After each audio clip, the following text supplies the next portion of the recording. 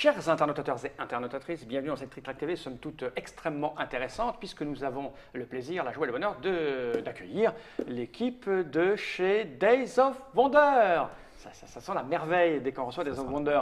Vous êtes venu parce qu'il y a une nouveauté qui sort chez vous, c'est assez rare pour le, le souligner, vous ne sortez pas euh, 50 000 jeux par an. Et là, c'est une grosse boîte qui répond au nom de Relic Runner. Runners. Et celui, Runners. Et celui qui aime courir, Ah, bah, je pensais en parlant de relique, moi j'étais. Ah non, non, moi, non, j'étais non, j'étais quasi- beaucoup plus sympa. J'étais quasi- quasiment sûr. que- Et celui qui s'y connaît en Non, relique. relique. Toi, toi, c'est de la, toi, c'est de la breloque. euh. Au vieux truc tout ça. Non, non, celui qui aime runner, qui aime courir. Dans le physique, le, le- laisse présager des heures. Bon, bah, je vais, je vais y aller, moi. C'est le grand Dr Mops, comment ça va bien, docteur Ça va. Ça allait bien jusqu'ici. Bah si, ça va. Donc, vous êtes là parce que j'ai effectivement une boîte, une des toutes premières qui arrive. Oui. Hein, elle n'est pas sortie, elle n'existe pas. pas encore sortie, non. Voilà, on est, on est, on est Ah, un pas des premiers à, à- à- le posséder, la à voir, la à, toucher. à la sous-peser. C'est un jeu de Matthew Dunstan. Alors, Matthew Dunstan, oui, c'est un, auteur australien qui vit actuellement euh, en Angleterre, D'accord. à Cambridge. Ok, Ouais, a, euh, qui avait présenté son jeu euh, au concours de, de Boulogne. D'accord, Ouais, c'est comme ça qu'on l'a trouvé. Ok, il avait gagné ou pas Non, il était dans les finalistes. euh, Mais c'est suffisant pour, mais, euh, c'est- nous, on a bien aimé le jeu, Oui. donc on, l'a pris. Ah bon, on va voir ça. Alors, Relic Runner, je- Runner, parce qu'ils sont plusieurs, je l'ai dit, c'est des Wonder, c'est écrit là. Euh, c'est Julien Delval qui a dessiné ça. Oui, C'est notre ami Julien. ouais. hein, euh, qui, qui- qui, euh, a un fort beaucoup de crayons, surtout quand il s'agit de, de- de- de- comment dirais-je, de souligner les, les rondeurs formes, des femmes. hein, euh, Mais les rondeurs des hommes aussi, aussi. certains. Oui, oui. Euh, L'âge Ouais. mûr de certains. Enfin, je sais pas, mais là, là quand même, euh, tu vois, la demoiselle qui est dans l'espace ici, là, je sais pas si on la voit bien, Oui. et, et celle en cuir surtout, qui fait penser euh, à la première héroïne des Avengers, qui portait le cuir. euh, oui. tu vois, hein. Je vois, ça te parle. C'est un jeu pour d'enfance. 2 à 5 joueurs à partir de 10 ans pour des parties de 40 à 80 minutes, en gros. J'ai envie de dire, c'est comme chez Days of Wonder, euh, Ouais, c'est un- succès, euh, c'est-à-dire euh, familial plus, Familial plus, un quart d'heure par joueur à peu près. euh, donc, ouais, c'est ça. Donc, entre une simples heure et tout ça. Règles simples avec un. Oui, c'est c'est simple. C'est c'est peut-être un- c'est plus complexe qu'un aventurier du rail, mais D'accord. ça reste largement accessible. Alors là, vous- on, a tout on a tout déballé, on a tout dépunché parce qu'il y avait un petit peu d'installation à faire. Oui. hein, on ne voulait pas perdre de temps. On va montrer l'intérieur de la boîte quand même pour montrer que c'est bah, vide. voilà, c'est- c'est c'est pas vide. hein, il y a du, t'as mis des- ça, je me dis, elle est lourde. C'est que tu as mis petites oui, plaques on met, on met, ça te permet chaque fois de bien caler les, euh, le matériel quand tu, quand tu mets la boîte comme ça, justement. pour qu'elle soit bien droite. Voilà, Donc ça- voilà, il y a de quoi ranger tout le matériel, il y a des petits sachets hein, pour plus, tout ça. Euh, Il y a la petite boîte qui est là, mais on n'en a pas besoin. On Et il y a du matos. Par devers moins. Il y a du matos. Il y a du matos. Il y a un plateau. Il n'y a plus Alors. de place de par devers moins. Il y a des petites, euh, des petites tuiles bien épaisses. Bah, si tu veux, on- ce qu'on peut faire, on peut expliquer un peu comment on a fait le setup. hein. Ouais, mais je vais montrer d'abord la taille de la Ouais. règle pour que les gens comprennent bien à qui ça s'adresse et comment c'est fait. Donc, français, mais ça sera en plein de langues. euh, Chaque, chaque, chaque boîte sera. euh, La, la- la- la boîte est complètement française, oui. Donc Voilà, après, les Américains auront les les Allemands auront l'intérieur, Donc, c'est une règle uniquement pour les Français. Oui. Alors, comme d'habitude, euh, l'explication de l'emplacement. Je pense même qu'on vous doit quasiment ça, le, le principe. euh, c'est assez clair. C'est une innovation chez nous. C'est assez intéressant. Les, les éditeurs devraient tous le faire. En tout cas, ça permet de savoir quoi est quoi. C'est-à-dire de dire, mettez les tuiles machin, tu sais que c'est ça. Mm. Mettez les machins trucs, tu sais que c'est ça. Tu cherches pas pendant deux tu as une vue du plateau directement. Donc, c'est ce Donc la règle, avec tout ce qu'il faut, des illustrations, les crédits, tout va bien. On n'en a pas besoin, je te l'attends quand même. Bah, Et j'ai envie de dire, euh. Allons-y, explorons comment cela fonctionne-t-il donc, donc, de quoi donc il est question et à quoi sert tout ça, qu'est-ce qu'il y a donc? D'accord, donc ce que, ce que je te propose, c'est d'expliquer un peu comment on a fait le, le setup, parce que c'est un jeu qui peut avoir des, des débuts de partie un peu variables à cause du setup. On Le dit setup, tu peux La préciser. mise le en setup place. de base de la mise en place Oui, oui. initiale. N'oublions pas. souvent, des gens qui disent le setup, la mise en place du setup ou le setup initial. La mise en place initiale euh, du faut- jeu. faut le préciser, hein. comme ça Pour les internautateurs et internautatrices, Days of Wonder est une compagnie fr- franco-américaine ou américano-française. Donc Ouais, mais je crois que beaucoup de gens Dans la vraie vie, en setup, fait, hein. on- Setup, ça reste un. là, on dit, on dit Adrien, mais en fait, dans la vraie vie, on l'appelle Adrien. Adrian. Frank and Adrien, on dit. D'ailleurs, j'ai pas dit Franck. J'ai- Il y a Adrien, mais je dis l'équipe des of Wonder et j'ai pas dit Quand Adrien. on regarde le setup, ça donne un genre de layout. Et du- C'est exact- c'est exactement ça. Donc on reprécise Adrien et Franck. Parce que j'ai dit l'équipe Adrian, Wonder and pas dit qui, qui était Adrian là. and Frank. Alors, ce setup est aléatoire. Alors oui, on, on propose dans la, dans la règle, ce que tu as montré tout à l'heure, euh, on, a, on a une mise en place qui est, on va dire, prédéfinie pour la première partie si on a envie Ok. de la suivre, ce qui n'est pas obligatoire. Et en fait, on a placé sur chaque emplacement circulaire comme ça un tas de ruines. Donc on a mis trois, euh, trois tuiles de ruines sur chaque empla- emplacement circulaire. Et sur chaque emplacement comme ça de temple un peu plus carré, on a mis un temple composé chaque fois de trois étages. On va, Donc, on a- va les fouiller, les temples. si tu veux peut-être les montrer sur les, au niveau des étages, Oui, sur ta- voilà. Il y a les, il y a les- trois niveaux de temple. Je vais, je vais rezoomer parce que j'ai dézoomé. Et oh, oh, la table, c'est pas beau. Voilà, c'est fait. Donc il y a les trois étages, tu peux les Donc, dépiler. un étage, Voilà, premier Hop. étage, tu vois.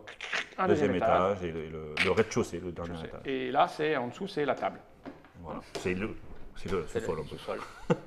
Donc ça, on les a mis aussi aléatoirement, c'est-à-dire que on a, on a choisi, j'ai choisi parmi les six euh, premiers étages de Temple Blanc, tu vois qu'il y en a deux Voilà. ordres qui sont en rab ici. Parmi les six, j'en ai mis un sur une position aléatoirement et je l'ai choisi parmi les six aléatoirement. D'accord. La même chose En pour fait, le deuxième. Quand tu auras des étages en dessous, ce sera pour l'extension Et la même chose. Relic Underground. Ça. Et le troisième.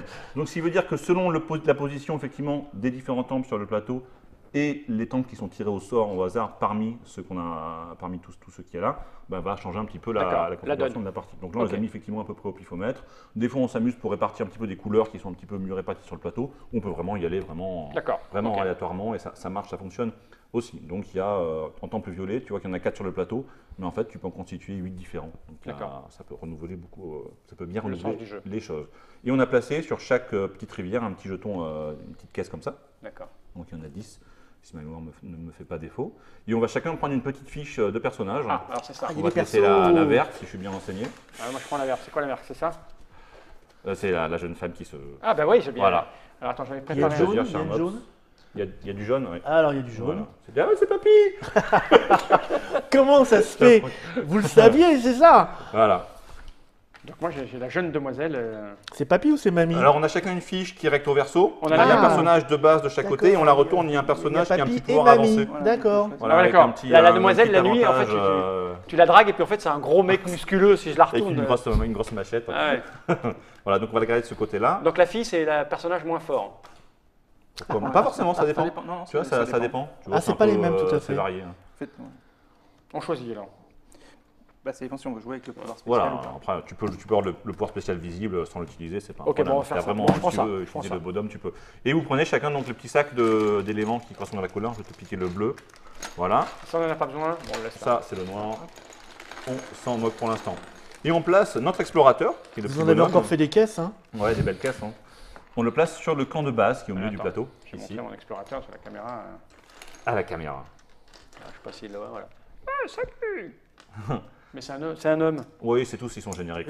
Il, ressemble un peu à. Donc au Tu milieu, penses à quelqu'un que tu connais euh, à- à- ouais, à, à- à ça, à un hobbit, tu vois. Hein? C'est parce qu'il est, il est un peu court sur pattes, tu, tu te dis ça. Et tout le reste qu'on a, on va le placer sur une petite fiche. Donc on va mettre les caisses. On va mettre deux dans le petit, dans le petit coin en haut à gauche et on va mettre une en bas, tout en dessous ici. Ah, il Là il y a les petits symboles caisse, tu vois. ici. On va prendre nos, petites, euh, nos Alors, petits rentre, rentre chemins. un peu plus dans Ah, le truc. le vois Vous aussi, rentrez un petit peu, que nos notes puissent vous. Voilà, qu'on voit bien tout le matériel. Nos relais, hein, ça sont ceux des relais, on en a 10, on les place juste en dessous des, euh, des caisses de réserve. Et on a, on commence chacun avec trois rations de nourriture qu'on va placer en haut à droite, là où il y a écrit 5 max. En haut à droite, il y a écrit 5. Voilà. Ok. Donc là, notre petit plateau de joueurs Et prêt. est prêt. Donc, euh, allez, le hobbit de Mops ici. Voilà. Donc l'idée du jeu, c'est qu'on va être des explorateurs dans la, dans la jungle et on va partir à l'exploration de, de divers temples et ruines pour y trouver des richesses. On va, au fur et à mesure de la partie, se déplacer. Et en se déplaçant, on va explorer des ruines, explorer des temples, on va retirer du plateau. Ce qui fera dans la partie apparaître des reliques. Alors les reliques, c'est ces choses-là. Voilà. ça. Il y, en a, il y en a plusieurs. Il y en a c'est des, reliques, euh, c'est pas. C'est de la vraie relique. hein. On, La vraie on relique, les a récupérées en Amazonie, euh, dans des, dans des vieux temples en ruine. Voilà. Et puis, euh, ça c'est vu tout dessus. Voilà. Et lancé comme ça. euh, Donc les reliques n'apparaîtront sur le plateau seulement quand les temples, effectivement, seront totalement explorés et vidés. D'accord. Donc j'en mets quelques-unes pour, pour- pour les exemples. Et elles correspondent aux couleurs. Donc je mets les reliques vertes sur les, sur les ruines parce qu'elles sont vertes. Les reliques violettes viendront sur les temples violets. Les reliques blanches viendront sur les temples blancs. Et les bleus sur les temples bleus. Ok. Ok Voilà. Et donc effectivement, c'est en attrapant ces reliques qu'on va gagner beaucoup de points de victoire. Et, not- et notamment qu'on fera la, qu'on va précipiter la fin de partie parce que la partie va s'arrêter selon le nombre de joueurs quand tout le monde, quand le, le groupe aura euh, capturé un certain nombre de reliques. Donc là, on est 4 Donc, joueurs, on est quatre 9 joueurs. reliques. Quand on a C'est 9 fini. reliques réparties entre nous, la partie va s'arrêter. Ok. Donc, comment fonctionne un tour de jeu? Donc, on va chacun jouer chacun à son tour. Mhm.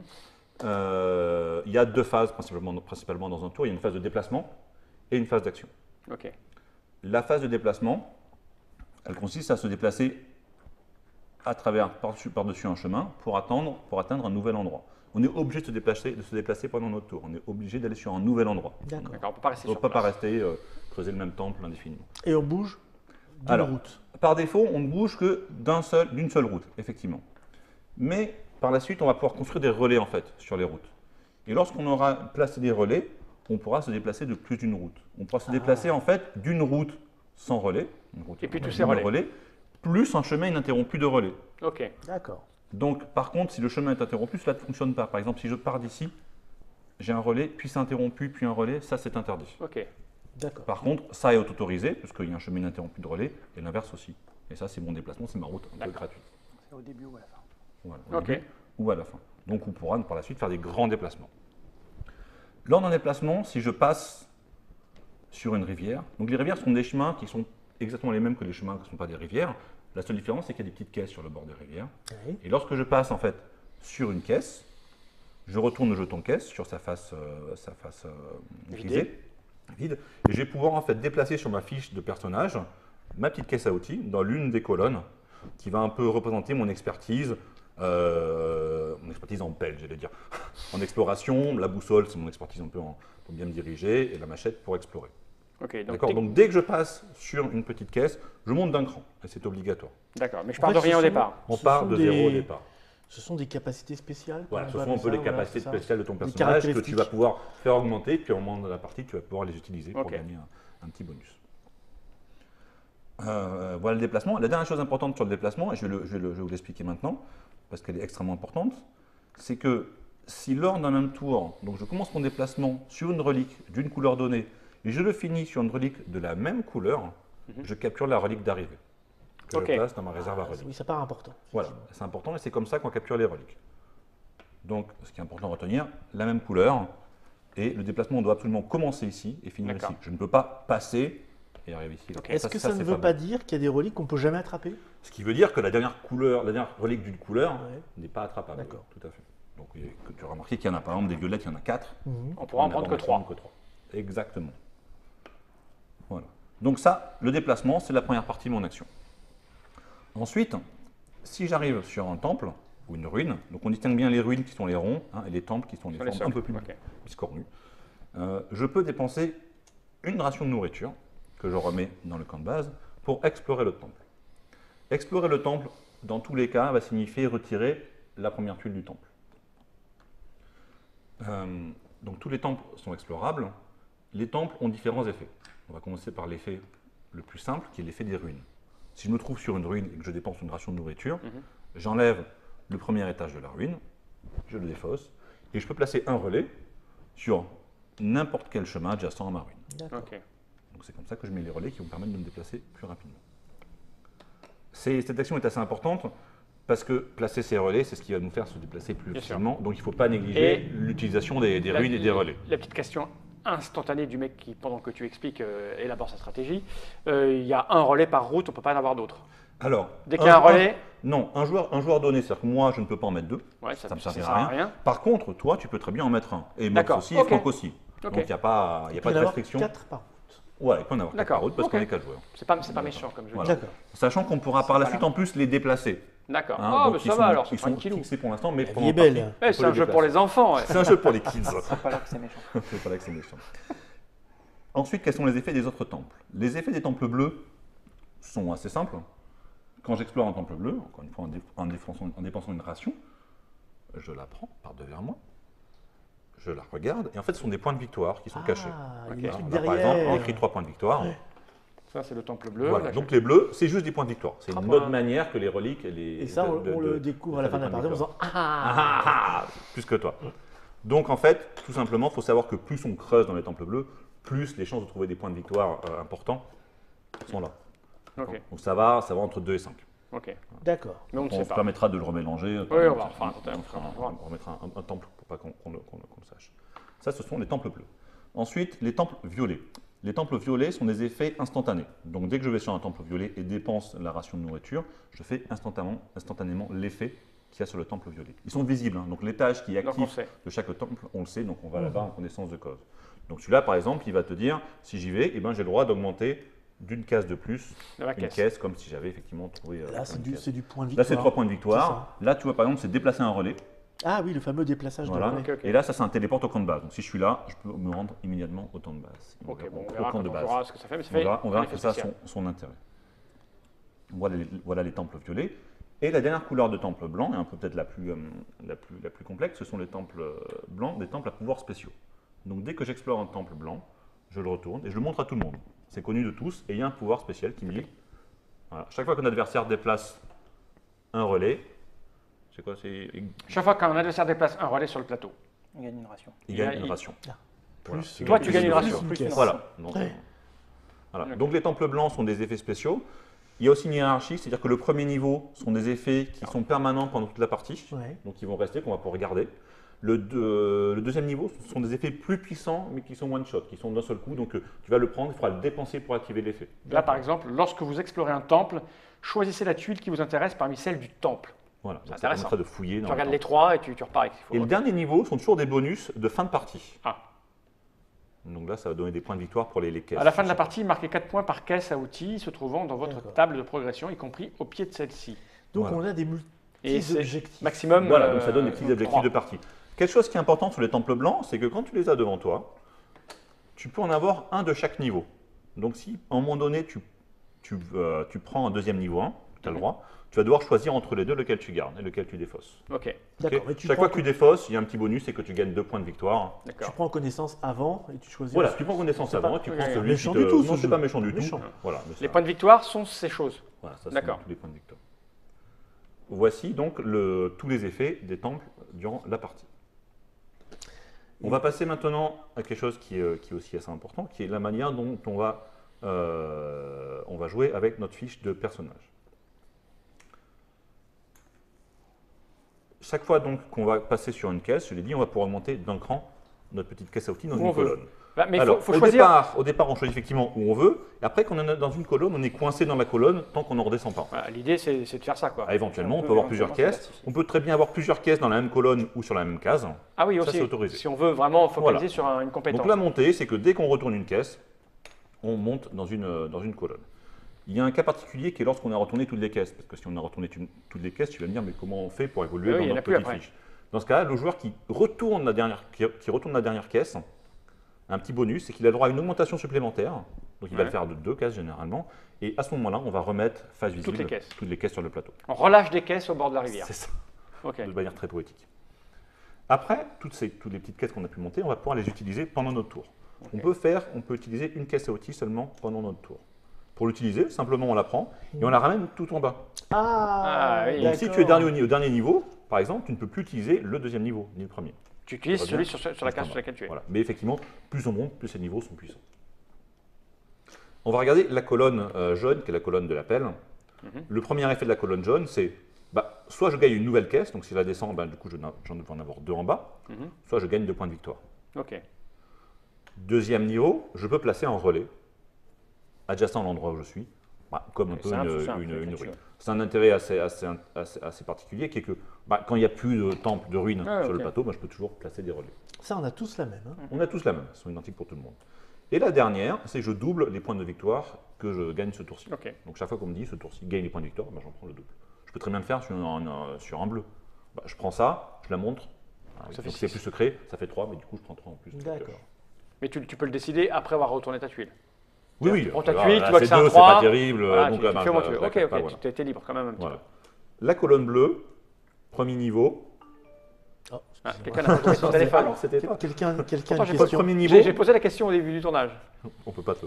Alors, Premier premier, niveau. premier niveau du temple de la colonne bleue, je déplace un relais d'où je veux sur le plateau où je veux. Ah, où tu veux, d'accord. Là, peu importe. euh, Peu importe si je suis adjacent ou pas, Ok, qu'il y ait des bonhommes ou pas des bonhommes, tu t'en fous. on s'en fiche. Deuxième niveau, j'en déplace deux. Ok. Troisième niveau, je marque autant de points Ah ouais, que, que, de, mon réseau de relais long. le plus long. Donc fois 2, Ok, donc là ça me, ferait, ça me ferait immédiatement 8 points. d'accord. C'est intéressant, c'est fort aussi. La dernière colonne, la rose, la machette, premier niveau, je peux activer un temple, mais pas une ruine, ça ne marche pas sur les ruines, hein, c'est que sur les temples, et gratuitement, sans dépenser de nourriture. Effectuez gratuitement l'action du temple où vous vous trouvez, il faut y être. Voilà. Ok, Deuxième niveau, je gagne deux nourritures. ok. Troisième niveau, je gagne autant de points x4 que de reliques. Donc 4 points pour chaque relique que j'ai déjà D'accord. Ah oui, ah oui. Voilà. Ok. Ce qui est bien, je parle de nourriture, ça me fait penser à quelque Pourquoi ils chose. disent. euh, Ah oui, c'est gratuitement parce que pour explorer un temple, il faut payer. Normalement, Voilà. D'accord, ok. Voilà. Donc. euh, Et le seul moyen de gagner de la nourriture, c'est cette case-là. Alors non, justement, C'est j'allais y venir. y là. justement. Voilà. Si jamais on revient au temple, et le temple est un endroit qui n'est pas, on peut pas traverser en fait. C'est-à-dire que, admettons, je suis dans cette position ici, je n'ai pas le droit de traverser le temple pour me rendre plus loin. Je dois m'arrêter forcément au temple si j'y passe. Même si t'as, Le même si une ligne. camp de base. Même si tu as une ligne. Même si t'es comme ça. Tu Tu peux peux pas- pas. si c'est une le camp- ligne. le camp de base. Voilà, c'est le camp de base. Tu passes, tu peux pas faire ça. Le, camp de base. Tu dois faire. Au camp de base, voilà. Je dois forcément m'arrêter au camp de base. Et quand tu t'arrêtes, Et tu quand je m'arrête, je prends 3 points, trois, trois jours de nourriture, de nourriture et c'est mon action. Ok. Je finis mon tour là-dessus. Voilà. Et on est obligé d'y retourner de temps en temps parce que. Voilà, à part si tu joues dans la colonne rose et tu peux. Donc tu as, des joueurs qui arrivent effectivement à faire une stratégie basée sur, on va dire, sur la colonne rose. Donc tu arrives à te refournir en nourriture sans Fameuse passer. euh, stratégie de la colonne de la rose. colonne rose. du- Euh, voilà, dernière chose que je vais vous, vous expliquer. Si je vais revenir rapidement sur l'attrapage, l'attrapage de reliques, la capture de reliques. On dit pas attrapage, hein, on On dit, dit pas euh, attrapage. Chez nous- attrapement. Chez on nous, dit. attrapement ou On attrapation. dit attrapement. Ça, je pense ça, ça dépend si tu es au sud ou au nord de la Loire, Mm. normalement. Mais nous, on est au nord là. Ouais, d'accord. Mais euh, ok, tu- juste, au- juste Ah au ouais, nord. bah, tu fais 800 mètres et t'es au sud. hein. C'est pour ça qu'il y a des conflits depuis ouais, des années entre le sud et le parler, Ah c'est dur. Donc, admettons, je commence mon tour ici, je fais mon déplacement comme ça, j'attrape cette relique que je capture ici. Mais j'ai aussi un autre bonus qui est intéressant, c'est que je vais gagner immédiatement le double de points du nombre de déplacements que j'ai fait. Donc si je suis là, je fais 1, 2, 3, 3 parce que fois 2, tu prends le tien Voilà. plus celui que tu as plus si j'ai gratuit, fois 2, 6. Donc je prends immédiatement 6 points de victoire. Mais ça, c'est parce que tu as récupéré une relique. Et ça, ce n'est que parce que j'ai récupéré une relique. Et on va voir que dans la partie, tu peux faire des déplacements qui vont faire 4, 5, 6, 7, peut-être 8. 8 et 8 chemins, donc tu peux gagner beaucoup de points là-dessus. Et donc tu vois que ça prend d'autant plus d'intérêt quand tu doubles les points que tu fais euh, sur, ton, sur, ton, sur, ton, sur ton, Ok. ton tour. Et les reliques que je capture, elles vont me rapporter à la fin de la partie 5, Cinq points, points. par couleur différente. Ah, ok. Donc ça c'est 5 points. Ça maintenant c'est 10. Mhm. Hein. Ça c'est toujours 10. Et ça effectivement maintenant c'est 15. D'accord. D'accord? Et il y a en plus ce qui est assez intéressant, c'est qu'il y a un bonus dans les temples blancs qui permet d'attraper des points pour les reliques excédentaires dans la couleur. Et vite fait, les pouvoirs spéciaux, euh, je te dis, un, par exemple, si je prends celui-là, c'est commencer la partie avec deux caisses à outils au pied de votre table. De progression d'une seule. Voilà, des petits bonus bien. Supplémentaires. des petits bonus en, en début de début de partie uniquement qui te permettent de commencer avec un petit, un petit Moi j'ai une dire. ration supplémentaire parce que j'ai faim. Ah, donc tu Ça, commences ça avec ton bien. bonus, toi. Non, on peut le faire sans les bonus. On sans. euh, vous voulez, vous voulez. On a tout dit Euh, je Franck, tu me corriges si j'ai oublié quelque chose, mais je crois pas. Non, je La Bon. fin de la partie, si j'ai oublié comment- euh, La fin de la partie, donc dès qu'un joueur capture la neuvième relique, on fait un dernier tour. Donc, Ah, tout quand même. joue une fois, sauf le joueur qui l'a capturé. D'accord. Donc si c'est moi, bah, Mobs, Franck et toi jouez encore un dernier tour pour on peut finir les. Euh, vos- Quel, vos quel que soit le premier joueur. Quel que soit le premier joueur. On D'accord. verra que c'est un, avant- enfin, c'est un, c'est un avantage de venir dans le sens où tu contrôles la fin de la partie. Ok, d'accord. Ouais, et puis généralement tu finis parce que c'est- ça, ça t'arrange. On a tout dit. Je pense que ça laisse supposer un jeu. On verra en jouant, parce que c'est ce qu'on va faire. On va dire au revoir et puis on va se faire une autre petite vidéo où on va jouer. Alors moi j'avais quelqu'un qui me qui m'envoyait un petit texto Ouais. me disant ça sort quand, combien ça coûte quoi? Alors ça sort quand? Ça sort euh, fin septembre, 27 septembre dans les boutiques. Euh, 50 euros. Ok. Voilà. Parfait. Euh, On va voir ce que ça donne. A priori, il y a plein de petites stratégies différentes à, à essayer. Il y a un peu de tout. Quand tu connais pas le jeu, je pense que tu essayes un peu de tout, puis après tu te focalises sur un truc parce qu'un joueur qui a déjà joué, lui, il va, il va foncer sur, euh, sur une logique euh, à fond. La tu vas dire, ah, colonne, merde, on la peut pas- colonne rose. Tu sais, c'est le genre de jeu où La tu colonne- dis euh, colonne ah mais on ne peut pas gagner si on fait pas de long chemin. Oui. Alors que Non, là tu vas dire pas mais si tu peux gagner parce que tu ne fais pas. hein, C'est des jeux où tu crois il y, a- que- il y a un- il y a un peu de tout hein, qui peut se passer. C'est ce hein. que j'essaye de Ouais, dire. ouais. C'est qu'en gros, en général, quand tu débutes à un jeu comme ça, tu crois qu'il n'y a qu'une tactique, mais en fait non, il y en a plein. Non, ouais, En tout cas, c'est ce que ça laisse deviner après l'explication. On va voir si ça donne ça quand on ça se joue. vérifie. Relic Runners, c'est nous, les gens qui courent après des reliques, un jeu de Matthew Dunstan. Mathieu Dunstan. Ah, ça me fait penser à chaque fois une chanson de police, moi. Dunstan, So Close to Me. C'est terrible. Je pourrais pas prononcer son nom sans penser à ça. Ça y est. Days of Wonder, on l'a dit. 2 à 5 joueurs. Voilà, 10 ans, 40 à 80, on va voir ce que ça donne, si c'est bien 80 minutes. Je pense que ouais, on doit jouer vite à ça. Merci Adrien, Avec plaisir. merci Franck, merci Mops. Merci, euh, je suis en train de deviner. Il y a un secret. Qu'est-ce qu'il dans- fait Bah, Il y a un secret dans le jeu. Il y a un code. Ah bon, il y a un code Il y a des codes, ouais. Ah Au ouais, fond- c'est au fond des au routes, Si, si tu trouves le 666, euh, attends, Au fond des routes, il y a des lettres et c'est pas les Ah, mêmes. c'est les numéros Ah, de moule. tu peux jouer au, au chiffre le plus long. De moule. On dit au revoir, on se retrouve pour une autre vidéo Allez, à tout de suite. Ça marche. Allez. À tout de suite. Jenny Reich.